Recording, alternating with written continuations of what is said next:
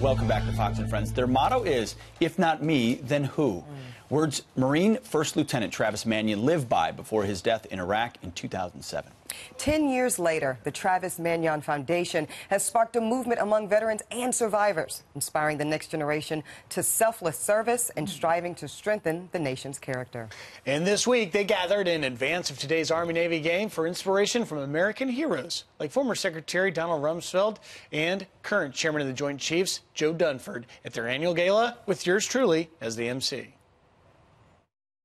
Began the Travis Manion Foundation 10 years ago uh, with five words if not me, then who? And we've been able to take that movement and stretch it across the country. What better way for us to teach our next generation about what it means to live a life of character than to share the stories of the men and women who volunteer to put on our nation's uniform and to step forward and serve?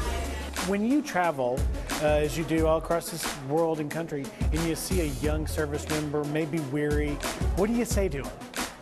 I walk up and, and look at them and say, you know, uh, there's an awful lot of us who really appreciate what you're doing.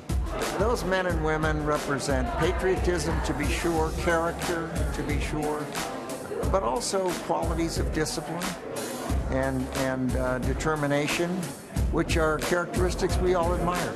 Every single person serving in the military is there because they want to be there. They've raised their hand and said, send me. Well, God bless you. I am inspired every single day by our future leaders.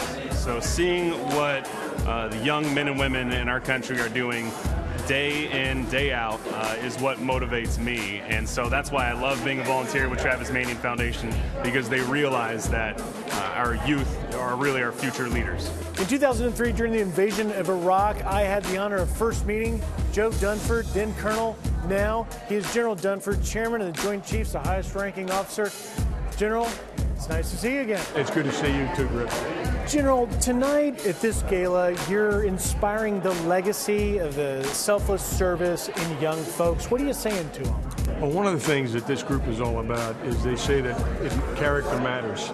And, uh, and I think the real message is to, to, be a part of something bigger than yourself and to live in the footsteps of individuals like Travis Manion, Brendan Looney, and the other individuals who are being honored tonight. Uh, one of the commitments that we make is to never forget. Events like this are about keeping alive the legacy of these, uh, of these men and women that have made the ultimate sacrifice.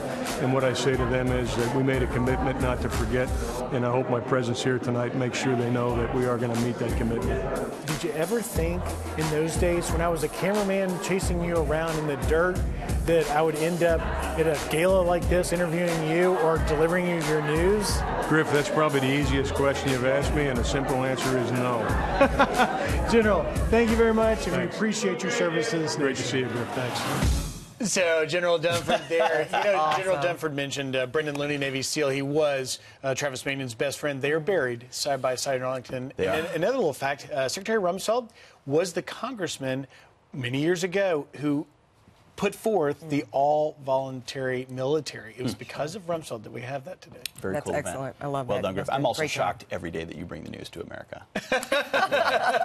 easy no. That's Great an easy stuff. no. I love that answer.